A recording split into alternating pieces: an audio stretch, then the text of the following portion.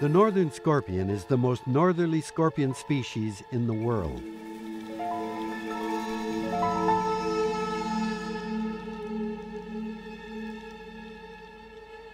Scorpions have very poor eyesight. They mainly sense their world by detecting subtle vibrations in the air and ground through two comb like appendages.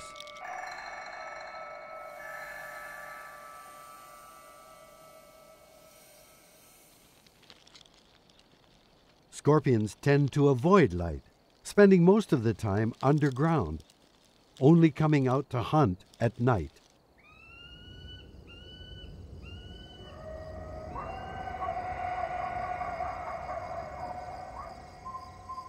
Scorpions are vulnerable to predation themselves, so they must be careful to stay out of sight even at night. And they have a cool trick to help them do this. Filming them under a UV light reveals the scorpion's entire body glows a pale green. Researchers believe that under this spectrum of light, their body functions as a basic eye.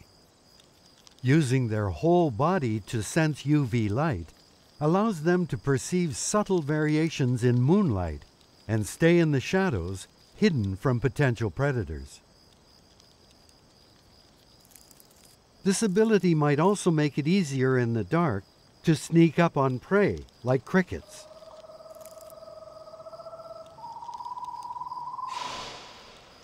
But no luck tonight.